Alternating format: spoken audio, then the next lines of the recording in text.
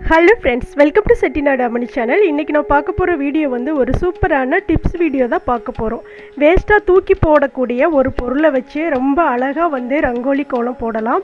இந்த வீடியோ வந்து ஸ்கிப் பண்ணாமல் பாருங்கள் கோலம் போட தெரியாதவங்க கூட இந்த மாதிரி நம்ம போட்டோம் அப்படின்னா ஈஸியாக போட்டுடலாம் போட தெரியலையேன்னு கவலைப்பட வேண்டாம். இந்த வேஸ்ட்டாக தூக்கி போடுற ஒரு பொருளை வந்து எப்போதுமே தூக்கி போடாதீங்க. எத்தனை இருந்தாலும் எடுத்து பத்திரமா வச்சுக்கிட்டீங்க அப்படின்னா நம்ம வந்து அழகழகாக ரங்கோலி கோலம் போடலாம். ஒரே நிமிஷத்தில் நம்ம கோலம் போட்டு முடிச்சிடலாம். அது எவ்வளோ பெரிய கோலமாக இருந்தாலும் சரி ஒரு நிமிஷம்தான் ஆகும். டக்குன்னு போட்டு முடிச்சிடலாம். இது எப்படி போடலாம் அப்படிங்கிறத நான் வீடியோவில் சொல்கிறேன் வீடியோவை ஸ்கிப் பண்ணாமல் பாருங்கள் இந்த வீடியோ பிடிச்சிருந்ததுன்னா செட்டிநாடு அம்மணி சேனலை சப்ஸ்கிரைப் பண்ணிக்கோங்க. பக்கத்தில் இருக்க பெல்லைக்கானை கிளிக் பண்ணிவிட்டு உங்கள் ஃப்ரெண்ட்ஸ் ஃபேமிலிக்கெல்லாம் ஷேர் பண்ணி விடுங்க. இந்த மாதிரி கோலம் வந்து துளசி மாடத்துக்கு முன்னாடி நம்ம வீட்டு வாசலில் வெள்ளி செவ்வாய் நாட்களில் அழகழகாக ரங்கோலி போடலாங்க. ஓகே வாங்க இப்போ நாம் வீடியோக்குள்ளே போகலாம்.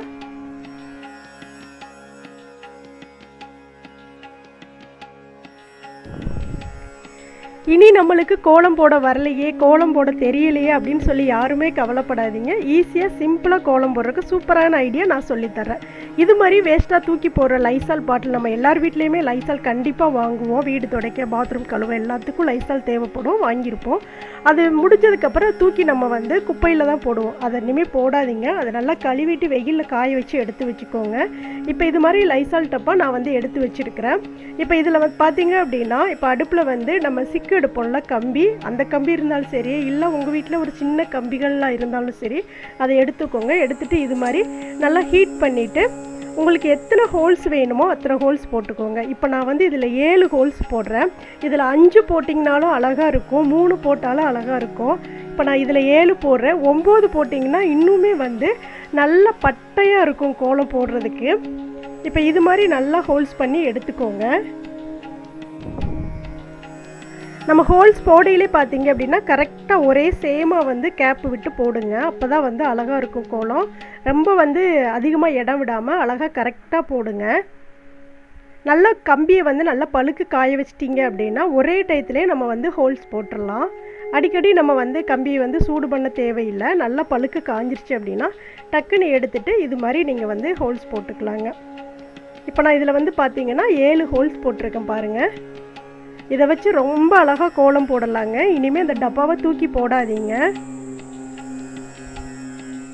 இப்போ நான் வந்து ஒரு கம்பி வச்சு வீட்டில் கோலம் போடுவேன். அதையே எல்லோரும் கேட்பீங்க கமெண்ட்ஸில் இது எங்கே வாங்கினீங்க அப்படின்னு. அதே மாதிரி தான் இதுவும். இப்போ நான் வந்து கோலப்படி எடுத்துக்கிட்ட கொஞ்சம். அதில் வந்து அரிசி மாவு கொஞ்சம் கலந்துக்கிறேன். இப்படி அரிசி மாவு கலக்கும்போது கோலம் வந்து போடுறதுக்கு நல்லா இழுக்கிறதுக்கு சூப்பராக வருங்க லைனு அதனால் கொஞ்சம் அரிசி மாவு கலந்துக்கலாம். எந்த கோலம் போட்டாலுமே அரிசி மாவு கலந்து போட்டோம் அப்படின்னா கோலம் போடுறதுக்கு இழுக்கிறதுக்கு நம்ம நம்ம எந்த அளவுக்கு இழுக்கிறோமோ அந்த அளவுக்கு நல்லா வளைஞ்சு கொடுத்து வரும். இப்போ பாருங்கள் அரிசி மாவு கோ கலந்ததுக்கப்புறம் நல்லா அழகாக பட்டையாக போடுற மாதிரியெல்லாம் வருது பாருங்கள் நல்லா அழகாக இருக்கும் அரிசி மாவு கோலப்பொடியில் கலந்தோம் அப்படின்னா. இப்போ நல்லா கலந்து வச்சாச்சு. இப்போ இதை வந்து இந்த டப்பாவில் நான் வந்து போட்டுக்கிறேன். இதுக்கு இன்னொரு ஐடியா சொல்கிறேன் நீங்கள் டப்பாவில் போடுறதுக்கு கஷ்டமாக இருந்ததுன்னா சின்ன சின்ன பொனல் வந்து வெளியில் கடையிலலாம் கிடைக்கும். அஞ்சு ரூபாயோ பத்து ரூபாயோ தான். அது வாங்கி வச்சிட்டிங்கன்னா டக்குன்னு கொட்டினீங்க அப்படின்னா டப்பா ரம்பிடும் அது ஒரு சின்ன டிப்ஸ் தான். இல்லை அப்படின்னா நம்ம வேஸ்ட்டாக தூக்கி போடுவோம்ல தண்ணி வாட்டர் கேன் பாட்டிலு அதில் மேலாப்பில் வந்து கொஞ்சமாக அறுத்து விட்டுட்டு அதை அப்படியே இந்த பா டப்பாவில் சொருகிட்டு கோலப்பொடியை கொட்டுனீங்கனாலும் சீக்கிரம் கொட்டிக்கலாம்.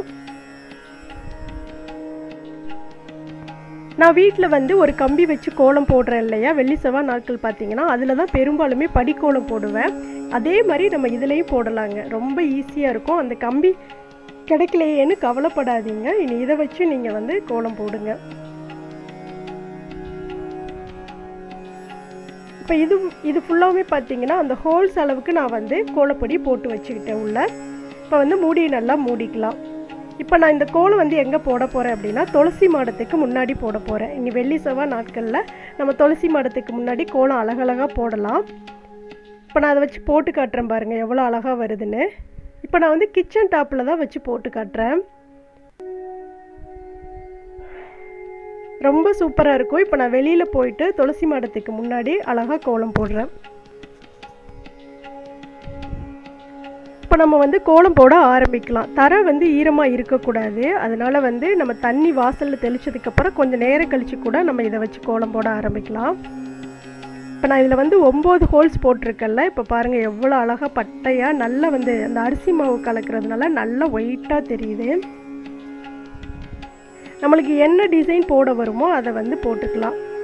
இதில் வந்து அழகாக படிக்கோலமெல்லாம் அழகழகாக போடலாங்க.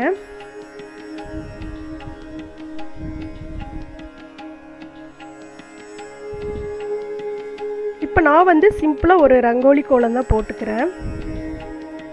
இதில் வந்து கோலப்பொடியும் அவ்வளோவா பிடிக்கிறது இல்லைங்க. கொஞ்சம் கம்மியாக தான் பிடிக்குது. நம்ம கோலம் போடுற அளவுக்கு தான் வந்து கோலப்பொடியுமே பிடிக்குது. நல்லா அழகாக வருது. போடுறதுக்கு ரொம்ப சூப்பராக இருக்குதுங்க. எல்லாருமே ட்ரை பண்ணி பாருங்கள் எல்லாருக்கும் இதை ஷேர் பண்ணுங்கள் எல்லாருமே தெரிஞ்சுக்கிட்டோம்.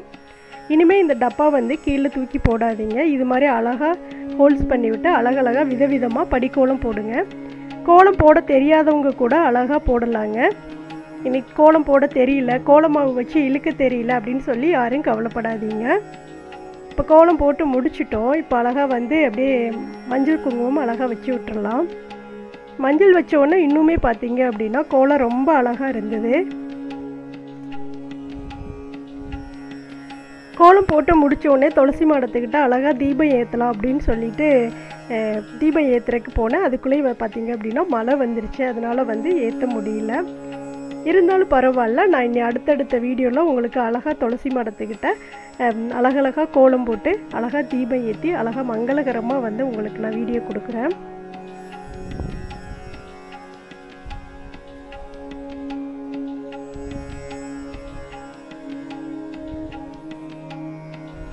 எவ்வளோ அழகாக இருக்குது பாருங்கள் இது வாசலில் போட்டாலும் ரொம்ப ரொம்ப அழகாக இருக்கும். நம்மளுக்கு பிடிச்ச டிசைனில் நம்ம வரைஞ்சிக்கலாம்.